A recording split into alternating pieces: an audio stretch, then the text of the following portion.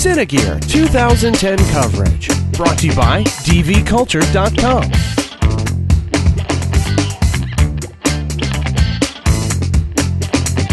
My name is Chol Kim. I'm an inventor of the uh, Cineped. Cineped is consists of three parts. One is the rotational slider and the manual post and the base with the four wheels.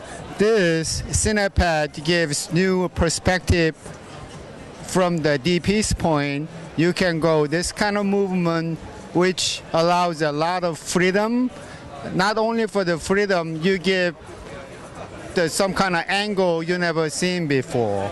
And with the, uh, this wheel, you can take a wheel out or you can roll with the camera system as it is. You see, this kind of 3D rig in the world, this is the 3D production support, camera support, and this gives a lot of freedom for the camera movement, which is impossible the before and very smooth and quiet